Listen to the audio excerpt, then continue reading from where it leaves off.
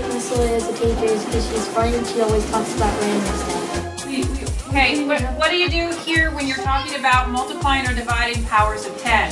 Divide by powers of 10, you ruined it. to the left. left.